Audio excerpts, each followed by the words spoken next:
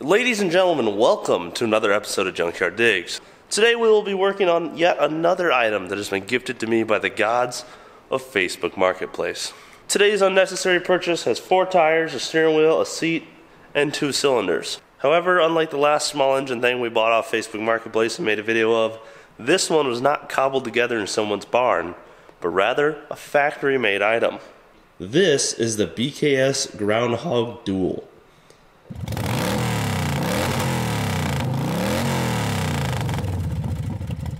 So, like I said, we found this on Facebook Marketplace. It popped up for 200 bucks, and I went, "Oh shit, that's cool!" Got in the truck and went and bought it. What I did not realize was exactly how rare this thing is. There's like three or four pictures of these on the internet, and like two videos of them idling. As far as I could see, there were no videos of anyone ever riding one of these. This thing has been sitting for a number of years. The uh, story was that this guy's friend's family used to drive it all over the place, but of course the kids grew up and it got parked in the machine shed and hasn't been driven in a number of years. Like I mentioned, this is a factory setup. This is two Honda GX200 motors. Actual Hondas, not clones. These motors are six and a half horsepower each and both feature a chain clutch setup. There has been a good deal of debauchery and welding and cutting done to this thing, but I'm sure it's probably been broken more times than we can count. In fact, it looks like at some point the entire front might have been snapped off. Overall, though, this cart is not in terrible shape. Uh, this sticker right here was literally worth the 200 bucks I paid for it alone. And you can see right above that we have our dual run and stop switches, which how damn cool is that? Uh, both motors do spin over. Nothing stuck. And they're both Hondas, so I'm sure after a quick tank flush and carb rebuild, they'll run. And we're really excited to see what that'll be like. So without further ado, let's go ahead and get some tools over here, get the tripod set up, and start seeing if we can bring this thing back to life. Start ripping around the yard once again for the first time in years. So as you can tell, no, this is obviously not a car and not our usual content. But uh, I, there is a reason I wanted to make some go-kart videos. For starters, we've been hanging out with the go-kart guys a lot in the last couple years because that's fun. I mean, it doesn't matter how old you get. Go-karts are never not fun. But we, uh, we don't have anything to race. I always just go and I don't ever get to bring anything. Another reason is that go-karts are small, very easy to work on, and very inexpensive in comparison to cars. I could build both of these engines as high as they could go, put all new tires, rims on it, have the frame powder coated, do everything, and it still costs the same amount as we usually buy our rusty junk cars for. Which, if you know, on this channel, we're all about relatability, and we don't want to cater to just high price builds. But everybody can go out and buy a $200 go-kart and put $400 of parts into the whole thing and have an absolute riot. So that's what we're gonna do. On top of that, I do have some tech and some stuff to talk about for these motors uh, to show you guys what all is available out there that if you're car guys here on the channel, this might be new to you and this might open up a whole new hobby for you guys to burn your money on, but not nearly as much as it takes to spend on cars.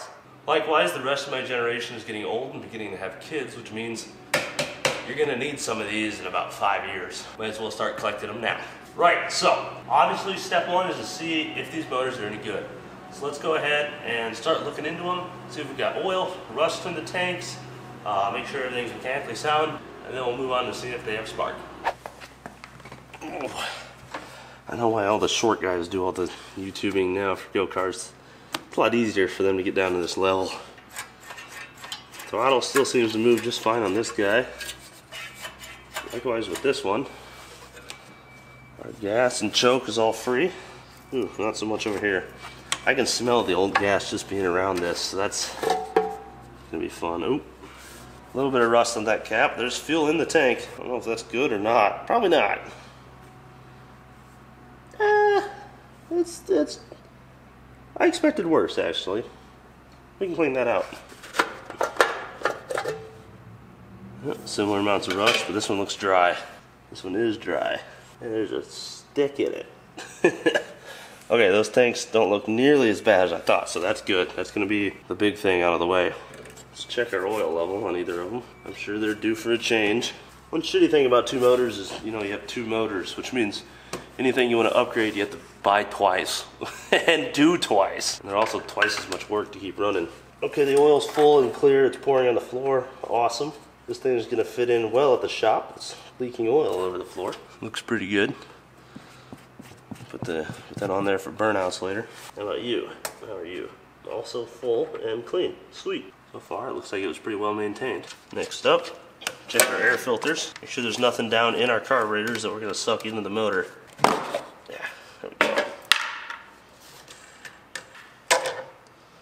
Oh, that absolutely crumbled in my hand, that pre-filter.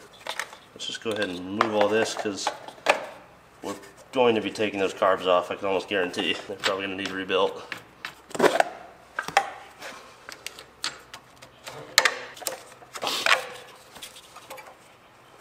Okay, we look good in there. Nothing's going to be sucked down into that if I start winging these over. So let's pop these spark plugs out and uh, check for spark. So like I had mentioned in the intro there, uh, there's a ton, and I mean a ton of performance parts and upgrades and mods you can do to these motors. And there's a ton of motors you can have on these carts. Some of them get pretty serious, like these little 200s right now are making, I think, six, like I said, six and a half horse. Well, they can make a pretty simple 20 horsepower, which is ridiculous. And having two of them back here, we'd have 40 horse. So if that's something you guys want to see, let me know down on the comments, and I'll uh, I'll make some phone calls later today, and we'll see if we can make something happen. Damn, I got long enough threads on these. Good lord. what? That can't be the right plug. There's no way. It's huge. see if this son of a gun sparks. We're also going to be listening for any weird internal engine noise. I don't see anything. Give everything a couple flips. Make sure it's all freed up. Oh, there it is. I just didn't have a good enough ground. Alright, well there's one. We're to spray some oil down those cylinders. Make sure those rings are not scraping on anything. Just standard practice for all this stuff. Should be pretty easy. This flow looks pretty good as well.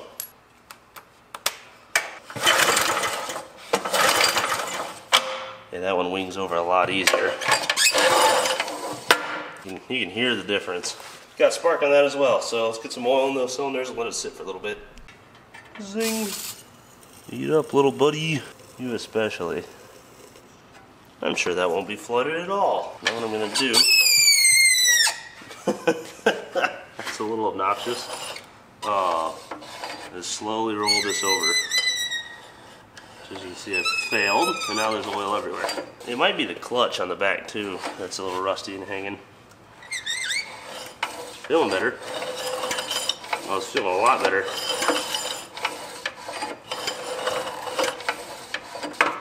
Alright, there's that one.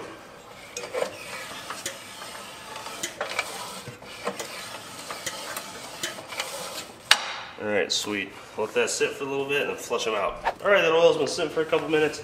Let's flush these cylinders out.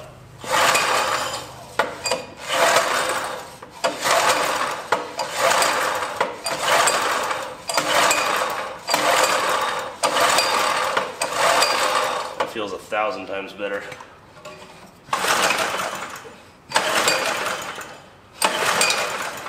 Alright, our rings should be nice and oiled now. Let's go ahead, put our plugs back in, and throw a little carb cleaner in the intake just to see what happens. Alright, we got our spark plugs back in. Everything's set to run. Before you complain about this, remember, literally the cylinder is full of oil right now. So normal gas probably wouldn't even have a high enough flash point to burn that off and for it to actually run. God damn it, you stupid straw. You get your ass kicked by a tiny straw. Heck off. Alright, we're gonna turn the fuel off. See if it makes any noise.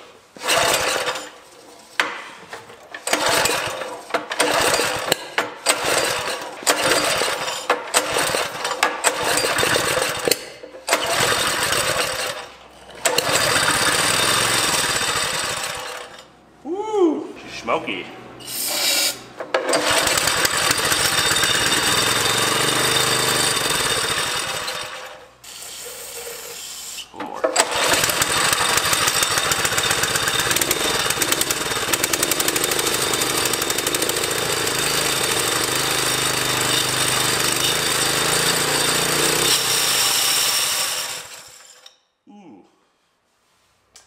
I don't think that clutch like that think it was running off the bowl even.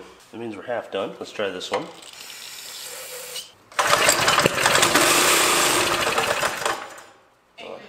Hell? it just went full throttle. There we go. The, there's a little spring return right here. I'll show you guys later, but it was stuck and I forgot to wiggle it before we started. Safety third, kids.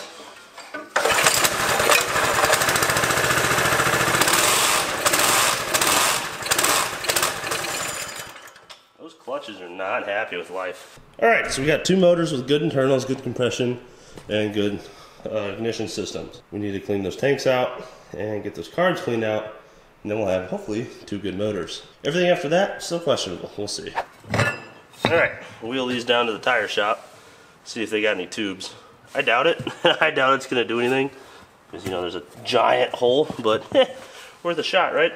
Hey, you take the wheels off of my go kart too. All right, so on to removing the carburetor. It is stupid simple on these kind of machines, especially these Predator, Honda, and Tillotson motors. You just go boop and boop, and you will have the intake housing removed. All right, this guy will need unplugged, but our cover is off. At this point, we have a fuel line here and this throttle linkage I was talking about earlier when that other motor wung open to infinity. You're just going to pull this guy forward. Need to remove our fuel line, which can be tricky, especially when they're this old. These motors are probably completely untouched from new. I like to take a needle nose on the front of that tube and push back. Now fuel will come out, so have a catch pan ready. All right, thousand minutes later, our fuel is done draining. We will disconnect this little doodad up yonder. You're gonna pull your carburetor out as far as you can, and then turn your throttle all the way this way. Bend that bar a little bit and pull up. Just like that, your carburetor's off. See what I mean? These things are easy as hell to work on. Let's open this up and see if this is something we really even need to tear into. I'm gonna go with yes, but sometimes you get lucky.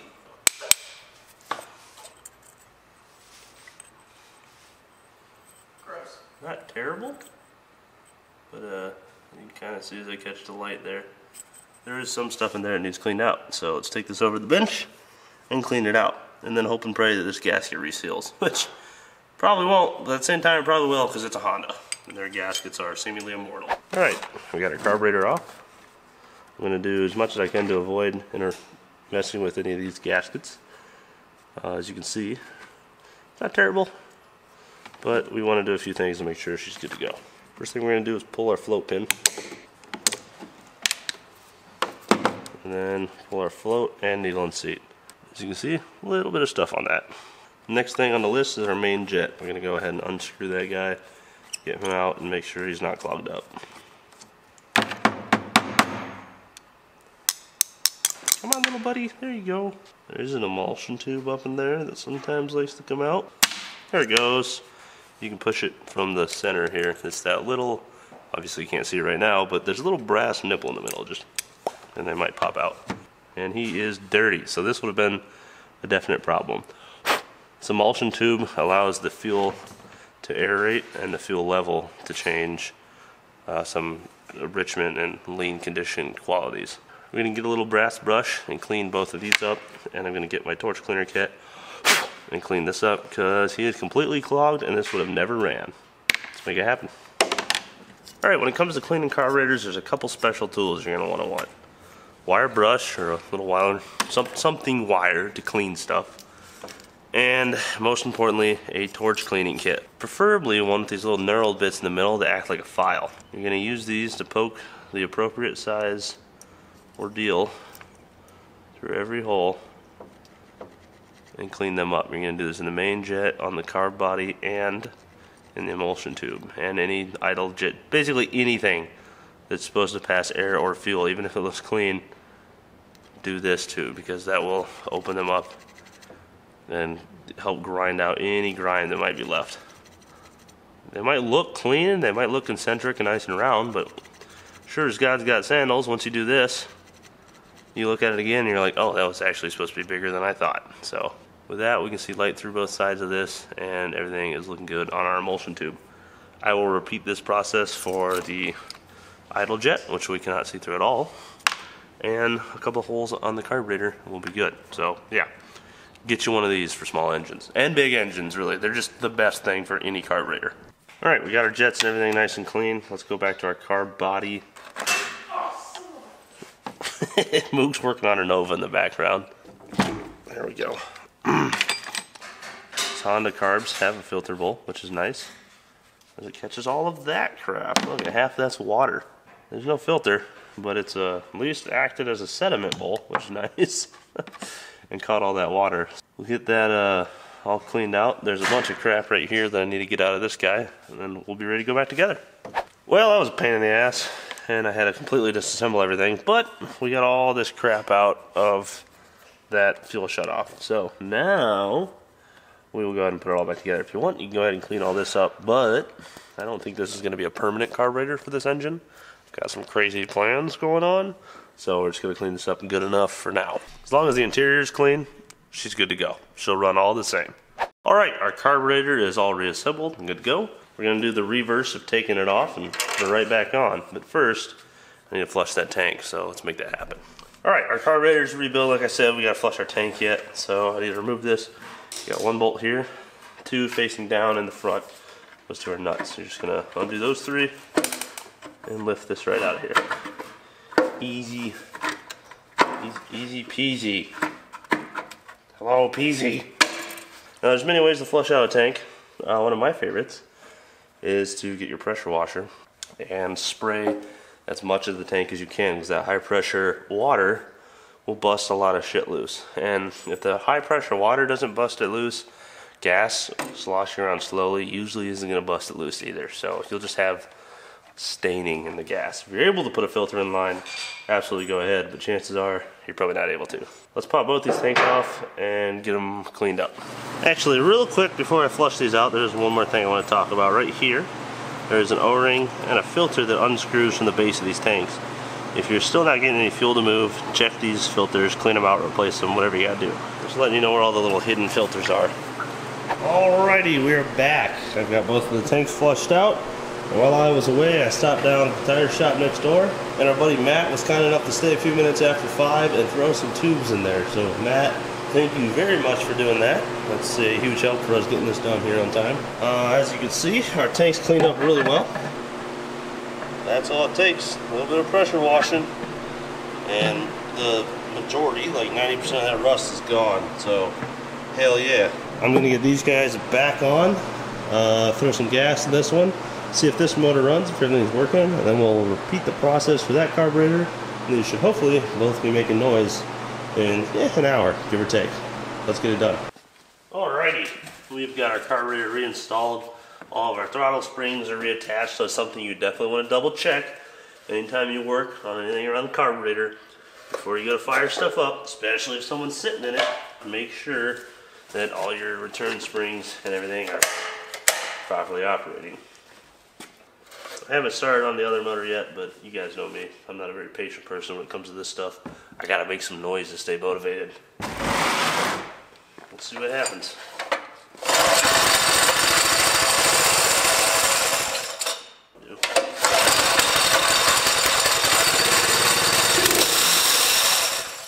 That clutch is not a happy camper.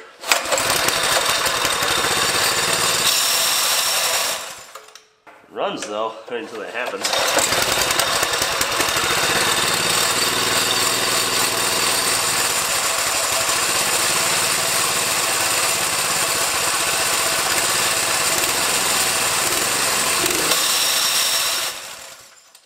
Alright, looks like before we're gonna run and drive, we're going to need to rebuild some clutches. So that's fun. Well, maybe, you know, with two half working clutches, we'll be good to go. Who knows? Either way, that motor runs for the most part. It does have some fuel issues. I don't know why. Uh, jets and everything were clear, so I'm not sure what that's about. But we'll deal with that when we need to. Let's uh, get that other carburetor rebuilt now. Alrighty, carburetor number two is fixed. Let's see if the second engine runs any better than the first one.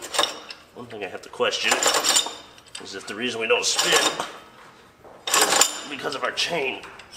Yeah. Alright, here we go. Yeah,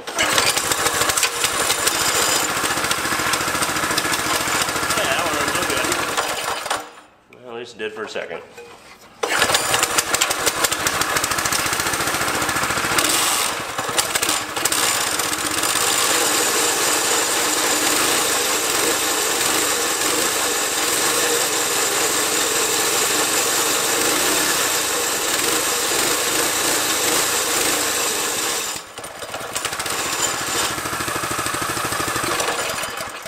Our axle's all bent to hell, but it's rotating. So, the big question, will they both go?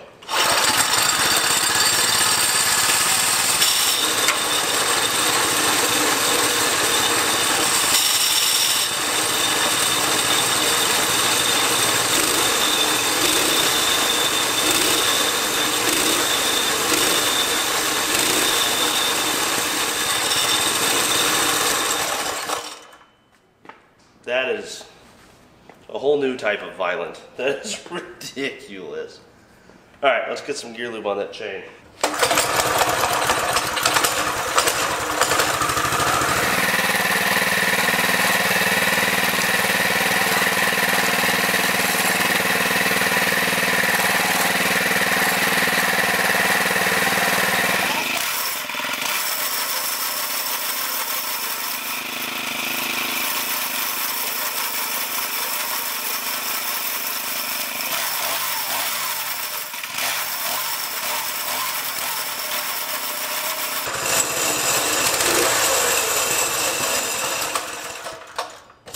Oh god, they're a shitload better. Never mind. They're like amazing now. All right, the time has come for the first test ride. I got my headlights installed. We're ready to go for some night riding.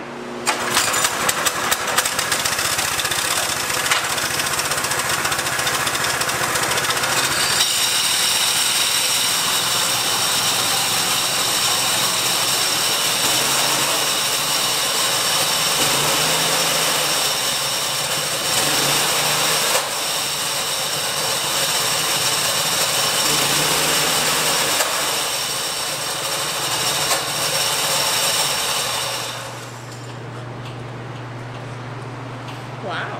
It doesn't move. Both clutches are junk. okay. Back on the floor, Jack. Well, it ain't a go kart video until Phoenix is here and it's getting to be late. Hey, it's not running by midnight. We got some. no, is it running or wheelies by midnight? oh yeah, we gotta drive it by midnight. All right. So we're trying to take our clutches apart. Phoenix has located our master link. Just junk. I think we need to get that one off though, because it spins freely already. Does so it? I think the set screw may have fallen out, but we'll find out. With the noises it's making, I, that's probably correct. It's kind of kind of sounds like a. If you can imagine that. Yeah, yep. So we're gonna try to get these clutches off and see what's left inside and see if there's any hope. I'm gonna go no, but we're pretty Yeah, magical. we're gonna try. Yeah, we've, we've pulled some dumb shit off in the past at midnight when one or 14 We can make beers a go in. kart run off Chevy HEI distributors and a CBR 600. We can make this go five feet at least. Despite Phoenix's confidence, we actually were not able to get it to move five feet that night. All right, there we go. Four bolts, one wire. Two Motor's beers ready. down. What? I mean, uh, We got the clutches off and realized that the internals were pretty much completely shot, so instead we utilized our time by cleaning up the brake disc. We decided even if we can't go forward, we should maybe possibly be able to stop. Alrighty, a couple days have passed. We now have ourselves the cheapest clutches that China can provide. As you can see, these ones stay in one piece. They don't just fall apart like the other ones. A few minutes later, I had everything installed and we were finally ready for our first true test ride. Alright, there it is. Clutches are on, chains are on and tight. Everything's looking good and aligned. It's time to take this sucker for its first rip in years. Oh, there he is. I'll call you Blister to show up when the work's done. Let me guess, you need a driver. Yeah. the only man I know crazy enough to sit behind the wheel of this thing. Let's go find a cornfield real quick.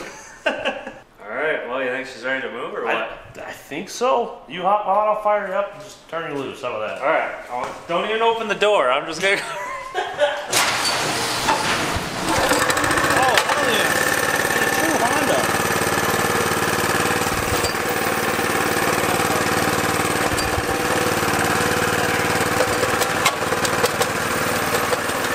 All right.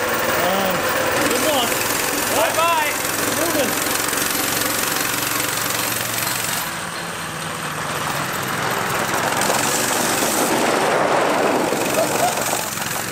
Okay.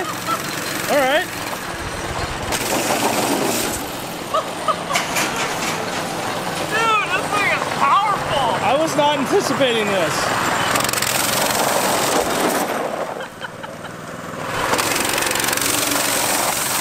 Oh, Jesus. Well, I hope the brakes work.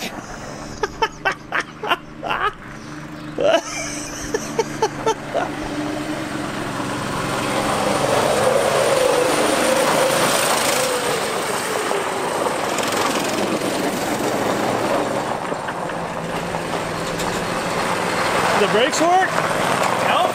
Nope. Looks like they need some adjustment. Holy cow. Dude, this thing is torquey. like as soon as you touch it, it's like just wants to whip around. I was not anticipating that with the chain clutches. I figured we would need CVTs, but I did not expect that whatsoever. I guess each motor's working half a clutch, so this thing immediately just spins the tires. It's fun. I would say this thing probably would do 25, 30 as it is, as is. It It's just rough guess. it looks like it boogies. I gotta take it for a rip. I gotta, I gotta give it a try. Camera. Fires right up though. Honda, of course. oh, that that sound is something else.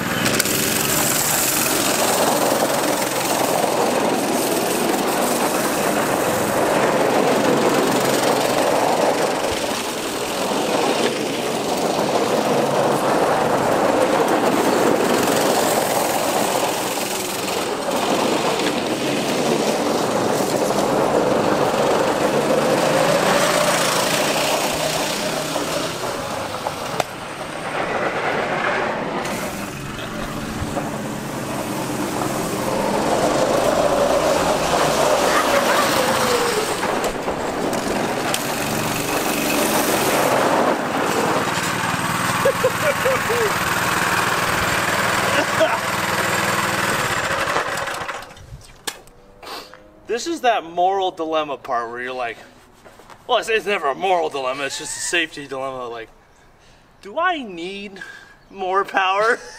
do I really need? I You can definitely have a lot of fun with what this already has. the size of the sprocket is like a one inch sprocket to a one foot sprocket. The gearing reduction is crazy, and it still acts like it wants more on the bottom end. Like, yeah. It could use a little more torque with those clutches, but that's that's what a CVT would change.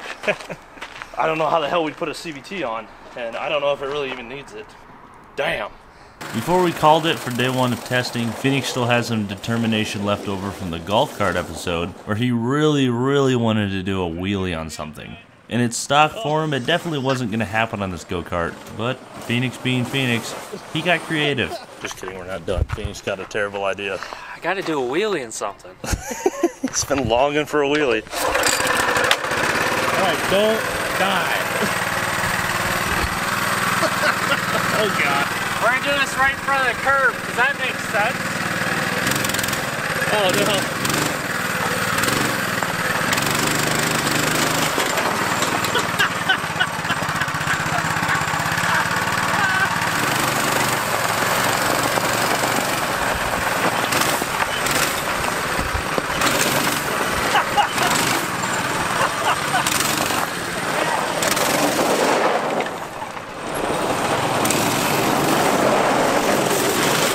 Oh, he did it! as we were concerned, that counted as a wheelie. While the sun set, we loaded the go kart up to take it out to my cousin's place and rip around on some trails in the woods. Okay, so we're out at my cousin's house.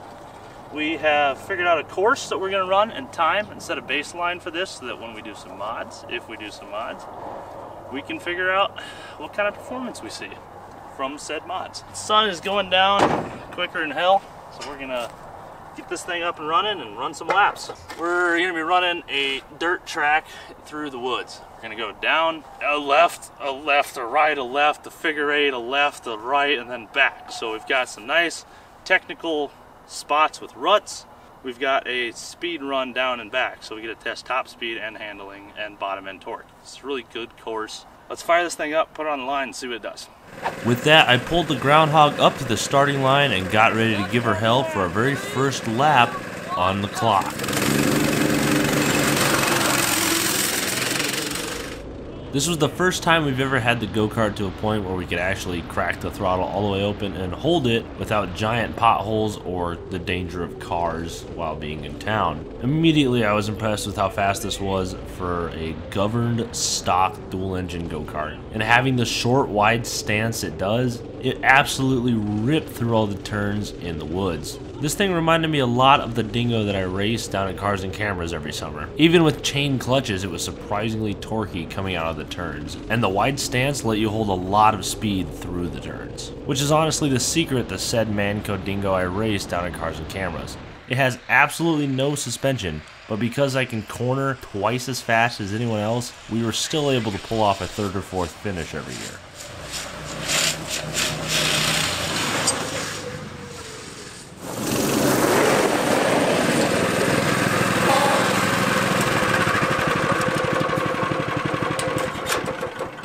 This thing kind of boogies. It looked like it. That might have been as fast as one of the aces or faster. I don't know. It. I really thought we were gonna have troubles with low end torque and coming out of the hole around corners. It blew the ass end loose. Yeah, what was our time? 51.18.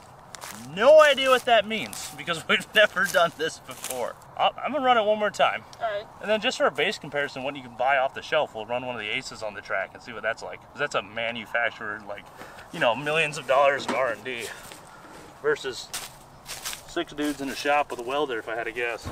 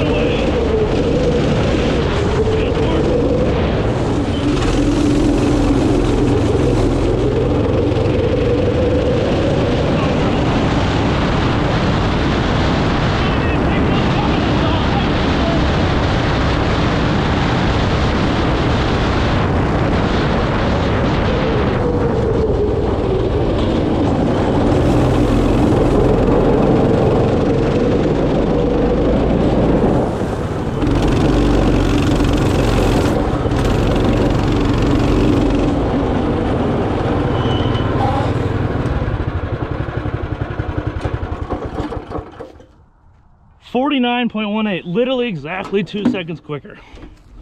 Okay, I call that a good time. That's probably all I'm gonna be able to get out of that. Let's uh, let's do it with an ace. I think this is faster. Like I mentioned, for comparison, we brought out my 2014 Polaris Ace 325. The sucker's bone stock with a little bit taller tire. These things are awesome off road, a ton of fun, but very soft in the corners. Let's see how it does. Three, two, one, go. As you can tell, those CVT clutches immediately went to work, maximizing torque, output, and efficiency. The ace shot off the line and right through the bale chicane. The 35 mile an hour down the front stretch definitely felt a little quicker than the go-kart, but it can be very hard to judge with no suspension versus full independent suspension. Which, as you can see, as soon as I hit the trail, became a huge problem as I was essentially crawling through the woods. In fact, I almost tipped at one point and put her up pretty darn far on two wheels.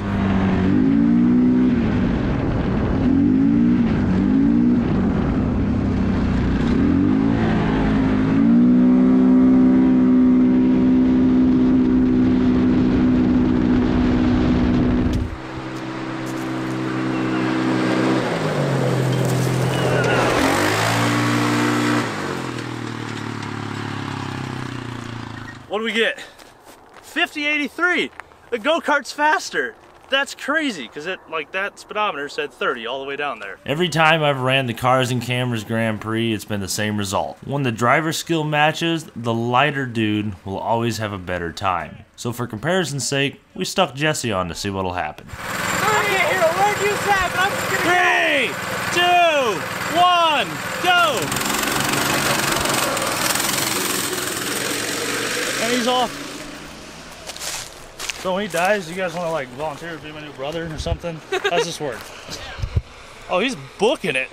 This lap was the first time Jesse had ever been on this cart, and if I had to guess, the first time he's been on a go kart in a number of years. The ones we had as kids have been thoroughly broken and would need a complete reconstruction. And I don't know who did that, but they should probably fix those. It was me, I broke him. Anyway, Jesse finished his first lap with a 51.81. His second lap was about a half a second faster, but we had some timing issues, so we don't know for sure. What we do know for sure is this go-kart is producing incredibly consistent lap times, so we should be able to very, very easily see any changes the engine or driveline mods make and show you guys where the best bang for your buck is. Yeah, I, I was absolutely blind coming through the corn cobs or the corn bales, whatever these are. Hay bales. There you go. Silage, aren't they? Silage bales. Stock bales. Stock. You give them to your cows. I don't have. You don't have cows. No, we don't. These are someone else's bales who has not picked them up. We had cows on accident. Well, we did have On cows. accident. The neighbor's cows Eight were out cows? here the other, like a week or two ago in the field. That thing has, it just has balls. It, it is so tail happy. Somewhere in there. Torquey. I was like full lock, and I'm just like, I hope it comes around and doesn't kill me and throw me into a tree or anything. I don't know. It was terrifying. Yeah, it's it's very impressive what those two stock motors do, and especially on chain clutches, which are known to not ever have bottom end torque. They're meant for the top end power. See that tree? Yeah, that one? That one almost killed me. Since we had the base times we came for, and the go-kart was still in one running piece, we slapped a helmet on my cousin's kids, strapped them into the go-kart, and sent them off to play. These guys had an absolute blast ripping around in the woods. Where other people may see them just taking a corner, I was watching them grow confidence, each time going faster and faster, pushing the braking point further and further towards the turn, putting that inner tire closer to the edge each time, growing confidence and finding the machine's limits, and then, of course, exceeding it. That tire is no longer on the rim. It is somehow still a circle and driving with no air in it whatsoever. They might not know it, but what they were building out there was the fundamentals of driving, and it was really fun to watch and took me back to my own childhood. So I urge you guys, if you have kids, go out there, find a cheap go kart, get it running with them, strap them in the seat, and turn them loose. Yeah, it's gonna break. Yeah, it's gonna cost money here and there. Yeah, they're probably gonna crash it into something expensive. But what you will be building is a lifetime of confidence behind the wheel. And that is always worth more than $200. So there you have it. That is the revival and story thus far of our BKS Ground Hawg Dual. I'm learning more and more that this thing is wildly uncommon, especially being a dual engine factory unit. If you have one or you know where there's one sitting, especially if you'd like to sell it, please shoot us an email at junkyarddigs1gmail.com. Or if you know any more information about these, junkyarddigs1 at gmail.com. Thank you guys very much for watching this video. If you want to see us do some simple mods to this, stick around. We want to do a part two. We're not going to do anything crazy, I don't think. I think we'll probably stay uh, stage one, which we'll show you what that means, and just kind of show you guys what you can do to your go-karts as you, your kids get older and that five horse Briggs or that five horse Honda just isn't doing it anymore. Just like cars, these are pay to play, but not nearly as expensive as cars. You can have a low cost input for some pretty decent sized gains or you can ramp it way up and pull an easy low 20 horsepower out of one of these things. So let me know down in the comments what do you guys want to see with this go-kart and if you know anything about them, head down there and tell me about them because I am genuinely curious what this is and why I've never seen one before. If you guys enjoyed the show and you want to see more content like this before ours comes out, check out all of our friends in the go-kart industry. Cars and Cameras, Redbeard's Garage, Tyrannus Customs, Build Break Repeat. Some awesome dudes there with some awesome channels. We will see you guys right here next week for another episode of Junkyard Digs, probably in that camper you saw. Peace.